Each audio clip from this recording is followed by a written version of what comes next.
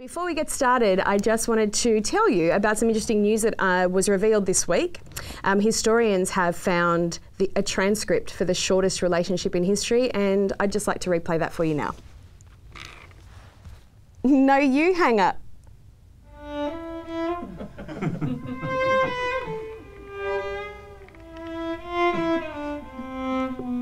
he did. the Twoks, ladies and gentlemen, our house band.